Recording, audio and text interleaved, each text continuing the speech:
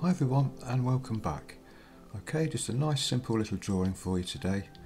This one is of a juvenile pied wagtail. It was a baby bird that was in my garden during the summer months and I was watching the parents feeding it and one day it was sitting on my fence and I decided to go and get my camera, take a photo of it and do a little drawing. I know it's not, you know, a highly impressive landscape drawing or anything like that but you know, it's the simple things in life, isn't it? The simple pleasures in life. Um, just watching a baby bird being fed by its parents on a nice summer afternoon just makes me happy. You know, and it kind of got me thinking, you know, the best things in life really are free, aren't they?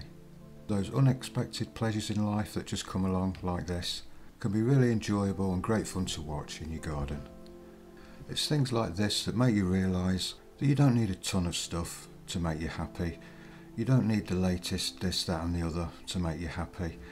You know, I heard a saying once that said, He who has little and wants for less is richer than he who is rich and wants for more.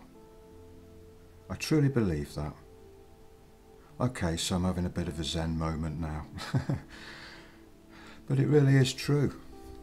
You know, it's these simple pleasures in life that seem to bring true happiness. You know, success is not the key to happiness. Happiness is the key to success.